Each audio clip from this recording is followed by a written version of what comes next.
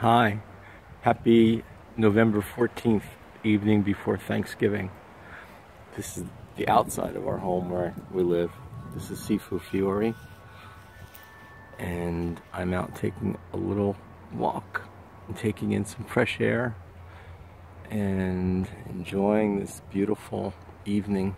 the wind is going through the trees. Maybe you can't see that, but it's a good example of chi. You can feel it, you know it's there, but only very few can see it. Many, most can feel it. Sorry about my voice. Um, everybody has something to be thankful for on one day of the year.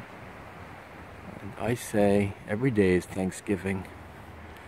Every day that you live is Thanksgiving. Every moment that you live in is Thanksgiving, and there is nothing else but the moment you're in. I'll say that again. There is nothing else except the moment you're in. Now I'm not in that moment anymore. Every day is Thanksgiving. Look at all we have. I love that street lamp. It reminds me of Narnia. I wish I could go there so badly. Actually, have a chat with Tolkien and um, C.S. Lewis, that's my fantasy. as well as some of the grand kung fu masters to practice with them. Some of the legends. But for now, here I am on Earth. I'm just a regular human being. I'm trying my best to do my best. And it is True, I might have said it harsh, but be thankful for every day that you're alive. Be grateful for every breath that you take. And really be aware of others around you and um, how they are feeling. Um, if you want to start with compassion, there's no better place than with yourself and those whom you hold grudges against.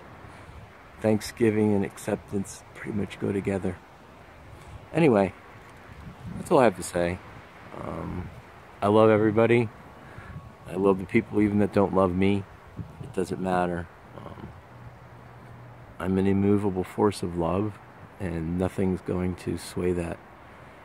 So, I love you despite anything. And those who love me, you're very special, and my students are very special.